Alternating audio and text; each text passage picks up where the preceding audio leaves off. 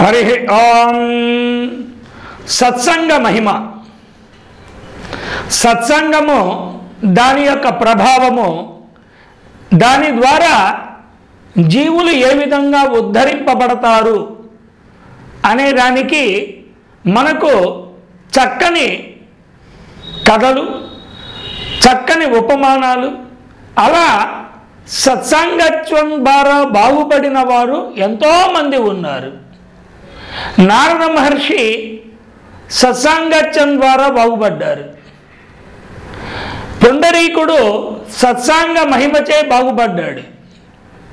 వాల్మీకి మహర్షి వీరందరూ కూడా సత్సాంగత్యము సద్గురువుల సాన్నిహిత్యము వారి యొక్క సేవనం ద్వారా బాగుపడినట్టు మనకు ఎన్నో చరిత్రలు ఉన్నాయి.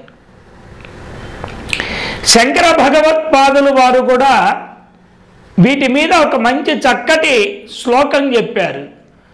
సత్సంగత్వే నిస్సంగత్వం నిస్సంగత్వే నిర్మోహత్వం నిర్మోహత్వే నిశ్చలతత్వం నిశ్చలతత్వే జీవన్ముక్తి.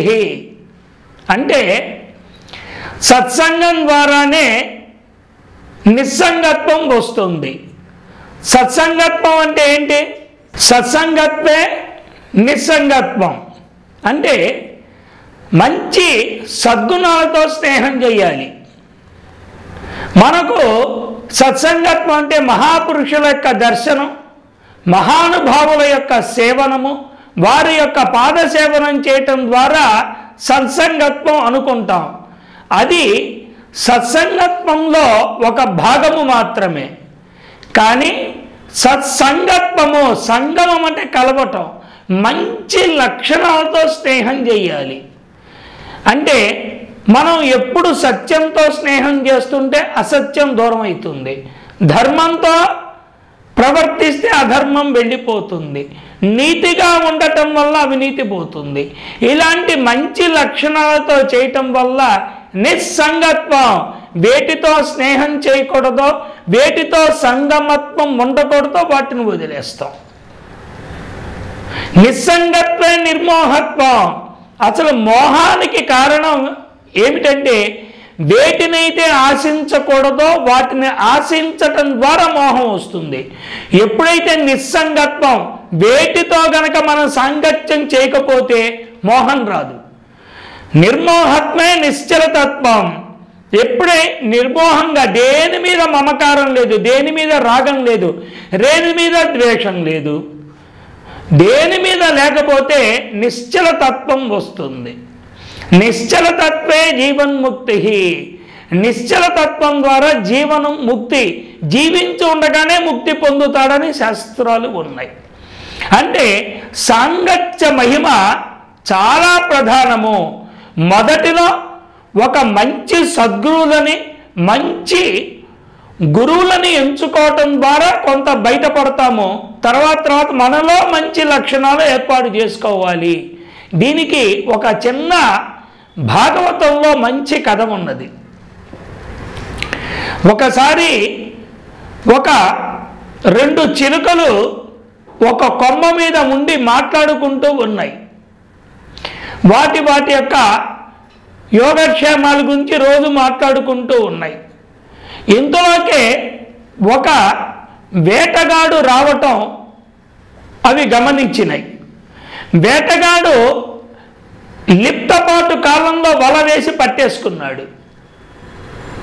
ఇంకా అవేమీ చేయలేకపోయినాయి సరే ఈ వేటగాడు చంపేస్తాడేమని భయం వేసింది ఎలాగోలా వాడు ఆ చిలకల్ని తీసుకెళ్ళిపోతూ ఉన్నాడు.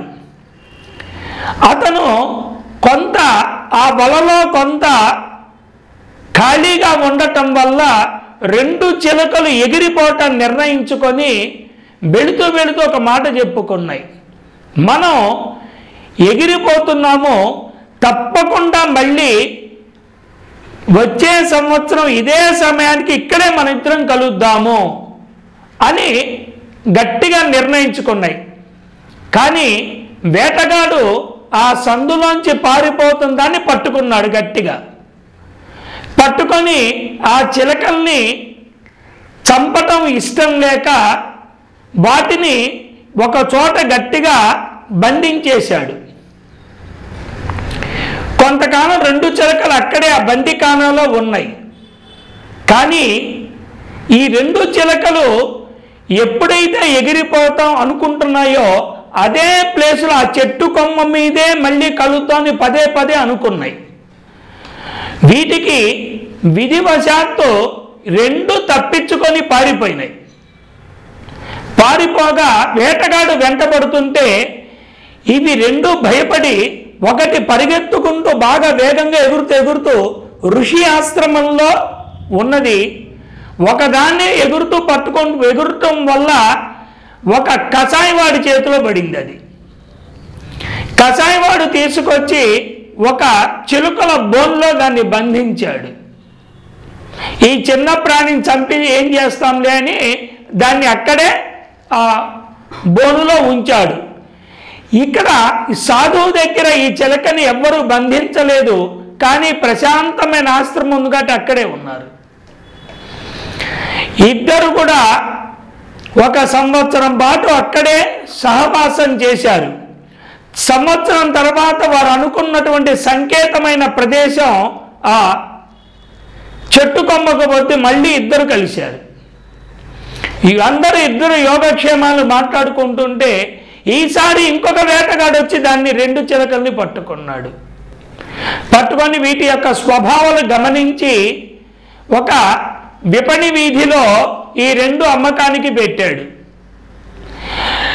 ఒక చిలక ఐదు రూపాయలు చెప్పాడు ఇంకొక చిలక ఐదు వేలు చెప్పాడు.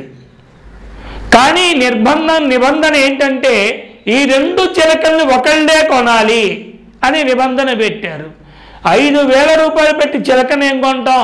అయినా దీని విశిష్టత ఏంటో అని అర్థం కాలే ఎవరికి. అయినా ఐదు వేలు పెట్టలేమనుకున్నారు.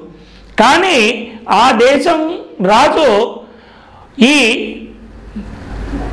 సమాజం యొక్క స్థితి ఎలా ఉన్నది? ప్రజలు ఏ విధంగా జీవన విధానం కొనసాగిస్తున్నారని రాజుగారు మంత్రి గారు మారు వేషంలో వచ్చారు. అక్కడ వింతలు విడ్డూరాలన్నీ చూస్తూ వెళ్ళారు. వారికి చిలకలు కనిపించినాయి. ఆ చిలకలమ్మే వాడి దగ్గరికి వెళ్ళి ఎంత నాయన ఈ చిలకలంటే? ఈ చిలక ఐదు వేలు ఇది ఐదు రూపాయలు అన్నాడు. ఎందుకు నాయన అంత తేడా? కొంటే మీకే తెలుస్తుంది. అంటే సరే ఐదు రూపాయల చిలక తీసుకుంటాం. కాదు రెండు ఒకళ్ళే తీసుకోవాలి.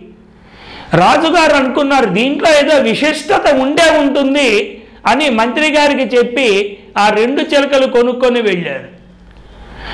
మర్నాడు ఆ రాజ అంతఃపురంలో తను నివసించే చోట చక్కటి బంగారు పంజరంలో మొదటి చిలకని ఉంచాడు. ఆ చిలుక తెల్లవారుజాన మూడు గంటలకే భగవన్నామ స్మరణ చేస్తూ ఉన్నది. చక్కగా శ్లోకాలు చదువుతున్నది. సుప్రభాత గీతికలు చదువుతున్నది. ప్రశాంత వదనంతో ప్రశాంతమైనటువంటి స్వరంతో చక్కగా భగవన్నామ సేవ చేస్తూ భగవన్నామం జపిస్తున్నది. రాజుగారికి చాలా వీణుల విందుగా ఆహ్లాదకరంగా ఉన్నది. చాలా సంతోషం వేసింది ఆ రోజంతా సంతోషంగా ఉన్నాడు. నిజంగా ఈ చిలుకకి ఐదు వేలు ఇవ్వటం నష్టం లేదు. చాలా చక్కగా చేసింది. చాలా చక్క భగన్నామం చేసిందని రాజుగారు చాలా సంతోషించారు. మరునాడు రాత్రికి రెండో చిలకని ఉంచారు ఆ పంజరంలో. అది సూర్యోదయం దాటింది ఆరైంది ఏడైంది ఎనిమిదైంది లేవదు. దాన్ని అది నిద్ర లేస్తూనే పరమ దూషణ పరమ కఠోరమైన వచనాలు అనకూడని మాటలు చెప్పలకరాని పలుకులన్నీ పలుకుతుంది. కర్ణ కఠోరంగా ఉంది రాజు గారికి. అబ్బా ఏమిటి ఇంత కర్ణ కఠోరమైన దుర్భాషలాడుతుంది? ఈ చిలుక అనుకున్నాడు. మర్నాడు మంత్రిని పిలిపిస్తే అడిగారు మంత్రివర్య ఆ చిలుక ఇలా ఉన్నది ఈ చిలుక ఇలా ఉన్నది కారణం ఏంటి? అంటే రాజా ఇది సాంగత్య మహిమ తప్పితే ఇంకొకటి లేదు. ఇది ఏ ఋషి ఆశ్రమంలోనే పెరిగి ఉంటుంది ఇది ఏ కషాయి వాడి దగ్గర ఎవరి దగ్గర పెరిగి ఉంటుంది రజా అంటారు. అనిన తర్వాత రాజుగారికి అప్పుడు అర్థమవుతుంది సాంగత్య మహిమ ఇంత గొప్పదా? ఇంత గొప్పగా మై- మారిపోతారా? అని రాజుగారు ఒక పరీక్ష పెడతాడు మంత్రి గారికి. మంత్రివర్య మన రాజ్యాంగంలో చాలా ఆశ్రమాలు ఉన్నాయి కదా చాలా సత్పురుషులు ఉన్నారు చాలా సాధు పొంగలు ఉన్నారు. ఈ చిలకను కూడా అక్కడ పంపించండి చూద్దాం. అనేసరికి మళ్ళీ ఈ చిలకను తీసుకెళ్ళి ఒక పంజరంలో ఒక ఋషి ఆశ్రమంలో ఉంచారు. ఈ దుర్భాషలాడేటువంటి చిలుకని. అది చక్కగా అక్కడున్న వాతావరణానికి ఒక సంవత్సరంలో పూర్తిగా అలవాటైంది. మళ్ళీ దీన్ని తీసుకొచ్చి రాజా రాజు దగ్గర ఉంచితే మర్నాడు పొద్దున్నే ఇది కూడా భగవన్నామ స్మరణ చేస్తూ భగవస్థుతులు భగవత్కీర్తన చేసింది. అప్పుడు రాజుగారు అనుకున్నారు సాంగత్యానికి ఇంత మహిమ ఉన్నది. ఎవరైనా సరే సాంగత్య మహిమ వలన మారిపోతారు. కాబట్టి సాంగత్యం ఎంచుకోవటం అనేది మనలోనే ఉన్నది. అందుకనే దుర్జనులతో సాంగత్యం దూదిలో నిప్పు కణం లాంటిది.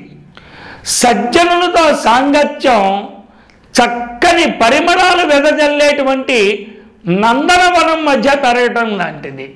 అలా చేసిన తర్వాత ఆ సాంగత్య మహిమ యొక్క ప్రాధాన్యత మనకు తెలుసుకొని ఎంతో గొప్పగా రాణించిన వాళ్ళు ఉన్నారు. ఇలాగే మనకు చూడండి కౌరవుల దగ్గరికి రాకముందు కర్ణుడు చాలా మంచివాడు. కానీ కౌరవులతో చేరిన తర్వాత కర్ణుడు క్రమంగా తన సద్గుణాలు వదిలేసి దుర్గుణాలకు అలవాటయ్యి దుష్ట చతుష్టయాల్లో ఒకటిగా మారిపోయాడు. కాబట్టి దుస్సాంగత్యం వల్ల అన్ని దుష్పరిణామాలు సంభవిస్తాయని దీని ద్వారా తెలుస్తుంది. సత్సంగత్వం యొక్క మహిమ మహోన్నతమైనది. ఈ సాంగత్య మహిమ ద్వారా ఎంతోమంది తరించిపోయారు.